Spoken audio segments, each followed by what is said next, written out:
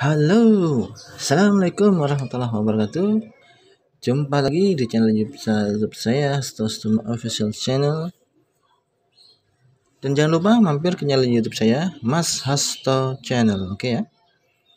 Uh, Salam untuk seluruh subscriber saya, salam untuk seluruh pelanggan saya di mana pun Anda berada. Ya, bismillahirrahmanirrahim. Ini mau tes mesin 1 kg tapi full langsung 24 volt. Ini permintaan dari pembeli ya. Langsung full 24 volt tanpa 12 volt ya. Tadi saya saranin ada 12 voltnya tapi dia nggak mau. Langsung 20 volt aja bang. Oke ini kirimnya ke Riau kalau nggak salah ya. Riau ya yang punya alat ini silahkan Insya Allah alatnya kuat dan bermanfaat. Nah, ini dua kapasitor bisa ada tambahkan lagi jadi tiga kapasitor atau 10 mikrofarad lagi ya. Nanti tenaganya di platinanya dia lebih halus dan lebih adem. Tapi ini juga udah bagus ya standar yang saya kirimkan sesuai dengan harganya. Eh ya kita mau langsung tes 24 volt. Kita pakai dua aki 10 amperan hmm, kita siapkan akinya. Oh ya kita kasih tahu ini untuk aki 24 volt ya. Stick kiri stick kanan ini sekelar ya. Jadi stick kanan nanti ini nyambung ke sisi kanan. Jadi stick kanan itu ada tiga kabel ya ini khusus untuk sekelar aja. Ini PS murni. Dan kalau mau dirubah ke PSMI nanti tinggal WA saya aja nanti bisa ya. Atau cek di uh, video saya ya ubah PS murni ke PSMI ya. Oke. Oh ya ini kan karena 24 volt setelannya ya. Setelan wajib bawah ini harus kencang ya. Atas itu naikkan sedikit demi sedikit ya. Semakin kencang dia tekanannya semakin tinggi ya. Dan untuk posisi sepul itu settingnya ada di mepet tempelin ke tangga getar kemudian anda undurkan sedikit ini sepulnya nih mundurin sedikit ya. Ini diundurin sedikit ada celah kisaran satu mili atau satu setengah mili saja. Jangan jauh-jauh ya. Biar dia itu eh, kejutnya itu lebih kenceng ya. Getarannya dia kan lebih rapat ya. Oke, langsung tes 24 volt ya. Oke kita udah siap ya. Bah positif negatif di jumper. Negatif 24 volt positif 24 volt dan ini sebagai seklar ya stick kanan dari stick kanan stick kiri dari kabel stick kiri ya. Langsung 24 volt ya kita tes. Kita tes langsung 1000 ya. Ya. Nah ini di 200 setelan masih sedang ya. Ya suaranya. Ini masih bisa naik ya nih posisi spool hanya satu mili ya atau satu setengah mili ini. Mepet aja ya kita setel di seribu aja langsung kita kencengin ya setelannya semakin kencang semakin kuat dan semakin boros ya ingat ya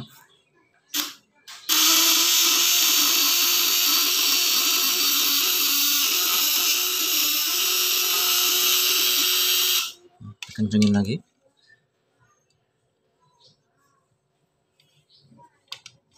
Ingat ya jika semakin kencang dia tenaga akan kuat terus efeknya nanti 10 lama akan hangat ya. Ini kalau seperti ini PDC harus hanya 12 volt tapi kalau platina harus 24 volt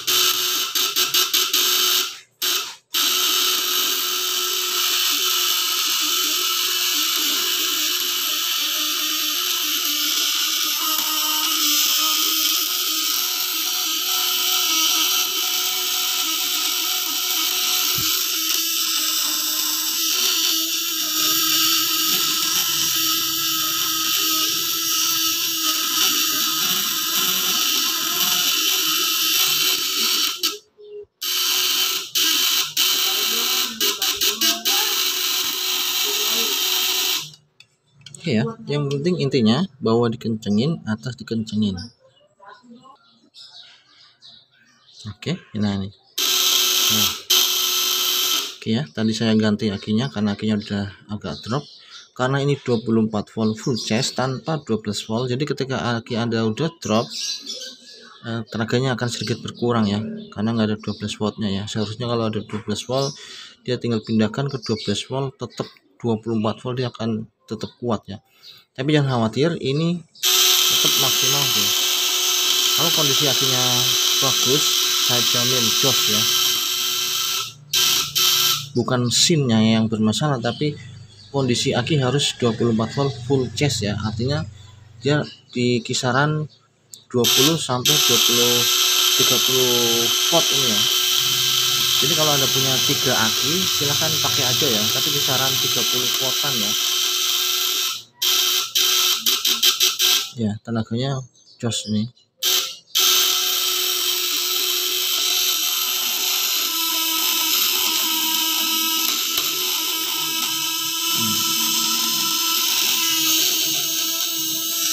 Kita naikin lagi dia masih kuat. Karena akhirnya masih charge ya. Hmm. dia semakin naik ya. Jangan khawatir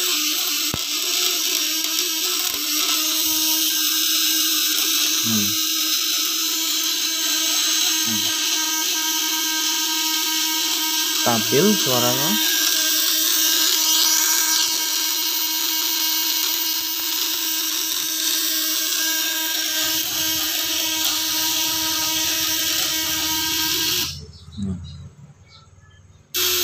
Nah, ketika ada style kencang dan kencang atas kencang, maka sekali pet ini udah pasti di atas 400 volt AC nih ya. Tuh.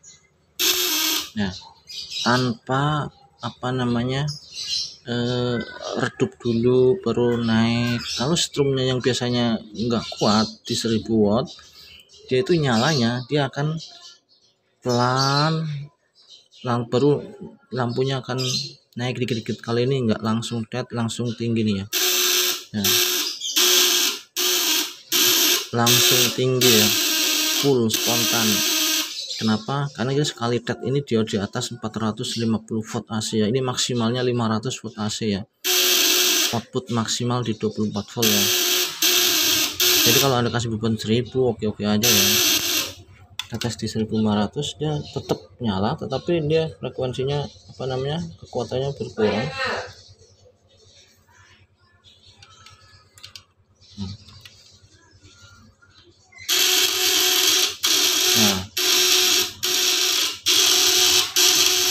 platina dia akan bekerja lebih berat ya. Suaranya akan lebih eh, berat suaranya karena bebannya naik.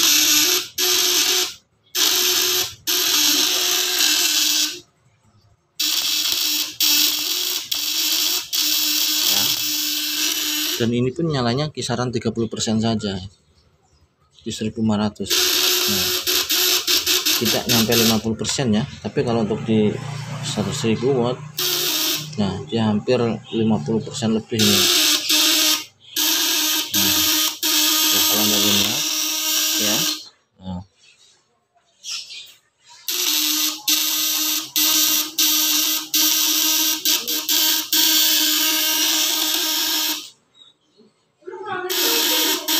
Oh ya, ini saya mau coba tiga aki karena tadi yang satu aki udah mulai drop ya. Kita coba tiga aki ya. Tiga aki langsung saya tes sekarang ya. Nah, kita udah connect 3 aki. nah, ini kisaran voltase aki ini kalau 3 aki itu kan 36 volt. Nah, ini kisaran 30 voltan ya karena yang satu ini tadi udah agak drop. Solusi jika pakai 3 aki pertama jika setelan kencengnya ini dia platinanya nggak kuat Anda harus kendorin dikit sepulnya mundurin dikit kisaran 2 mili ya ya 2 mili. Kalau setelan kencang kalau setelannya eh, kencang anda mundurin dikit ya. Nanti kendorin dikit-dikit ya biar platinanya itu menyesuaikan dulu ya menyesuaikan dan input 30 voltnya ini ya kita tes ya. Nah kalau untuk 3 aki itu kisaran 30 volt ini ini harus anda tambahkan minimal itu ya 10 mikrofarad ya harus tambahkan ya untuk penyeimbang platina ya. Ini tanpa ditambahkan maka setelannya kalau tiga kaki ya sepul itu ini kisaran 2 mili atau 3 mili ke platina nih. Nah 2 mili atau 3 mili ke platina nih ya jaraknya renggangnya ya. Setelanya itu pun nggak boleh kenceng harus sedang ya karena ini hanya dua kapasitor harus tambahkan kalau untuk 36 volt ya, ya. kita tes ya tenaganya dia kuat ya.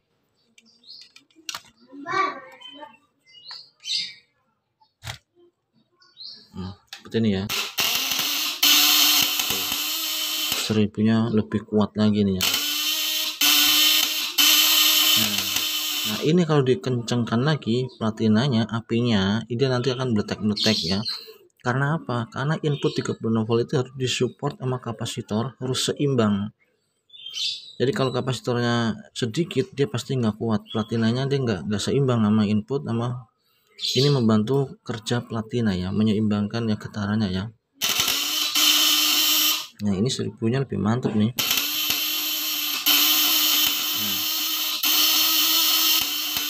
Harusnya ini kalau dikencangkan lagi ini bisa ya. Tapi karena ini hanya dua kapasitor platinanya nggak kuat.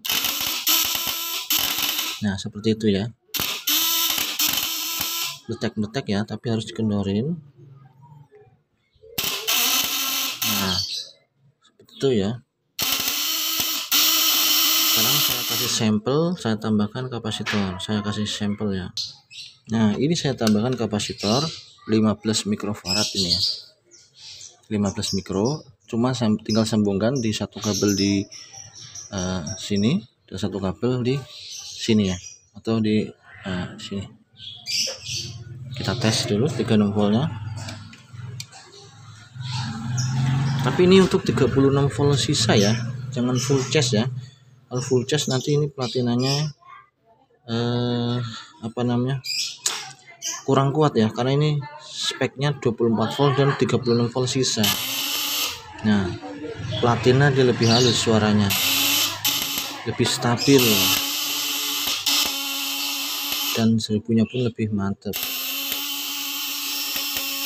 naikin lagi.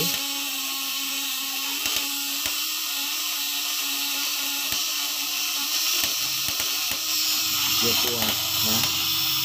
Seribunya ini benar-benar mantep nih ya. Nah dia platinanya suaranya lebih halus karena tiga tiga tambahkan kapasitor lagi ya jadi kalau 36 volt ini harus ditambahkan. Jangan dua kapasitor platinanya nanti nggak seimbang ya.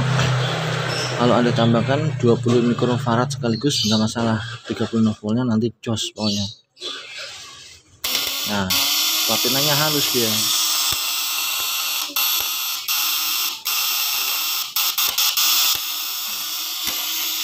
Mantep nih. Tapi ingat anda harus sering haluskan media ya jadi ini spool akan panas. Karena apa? Ingat ini mengangkat menghasilkan tenaga 500 watt AC lebih ya. Jadi ya otomatis panas. Kalau Anda menggunakan elektrik, Anda wajib menggunakan kipas pendingin di setrafonya. Hmm. Sekali tet nih. Tuh. Ya.